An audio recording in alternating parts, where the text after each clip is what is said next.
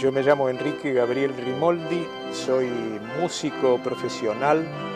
Comencé mm, a los 10 años a tocar el órgano, un instrumento que me llamó poderosamente la atención en la infancia.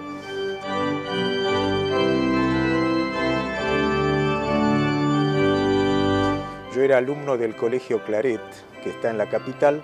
Allí tienen en la parroquia de la Consolata un eh, instrumento muy interesante de grandes dimensiones, un órgano importante en la parroquia, y yo ya cuando recibía las clases de catequesis ya escuchaba el acompañamiento de la música, los, cantos que hacíamos, y me llamaba la atención, me atraía especialmente el sonido del órgano. Es un instrumento que realmente mm, tiene características muy especiales y su, sonoridad se presta para determinadas cosas que otros instrumentos musicales no tienen. Es una poco la característica de los instrumentos en general musicales. Cada uno tiene un color, un timbre y una sonoridad que evoca determinadas circunstancias. Y a mí me atrapó el órgano, como a un violinista lo atraen las cuatro cuerdas de un violín o al pianista las teclas, el teclado del piano.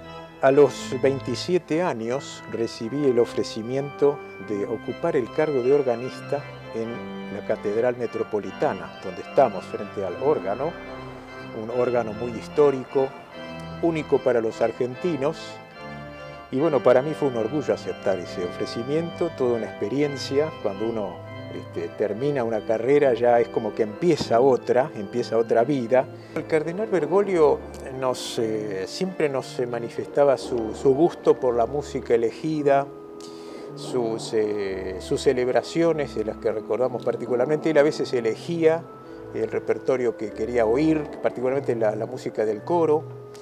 Y particularmente en Semana Santa. Nos saludaba mucho, que él estaba muy presente durante el triduo pascual eh, la, noche de la vigilia, el sábado santo, siempre esperaba abajo cuando bajábamos los, los músicos para saludarnos, decía muy bien el coro, decía qué bueno, que sí, realmente para nosotros ha sido toda una, todo un orgullo tenerlo de Santo Padre actualmente.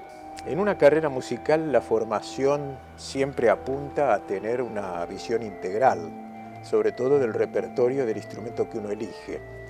En el caso mío, yo el repertorio que manejo más está en relación un poco a las posibilidades de los instrumentos que uno utiliza. Porque el órgano es un instrumento que, a diferencia de la mayoría de los instrumentos musicales, tiene una vasta literatura dada su antigüedad.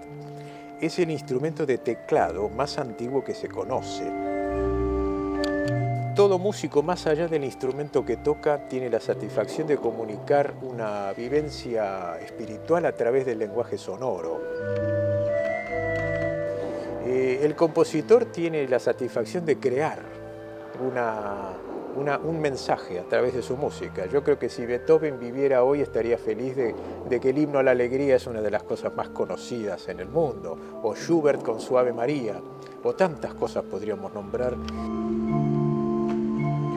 Esa es la, yo creo que la, la felicidad de un músico que compone y la del músico que ejecuta, el del intérprete, digamos, yo creo que está en la satisfacción de transmitir y de poder captar, porque es la gran responsabilidad y la el gran desafío que tiene hoy el que interpreta algo del pasado, es no poder hablar con el que lo compuso, particularmente en la música. Entonces uno tiene que retrotraerse a una época, como viajar en el tiempo y tratar de ponerse en la época, ponerse en el clima social, en la situación política, cómo era la vida, cómo eran los instrumentos, cómo se tocaba, cosa que es casi imposible de saber.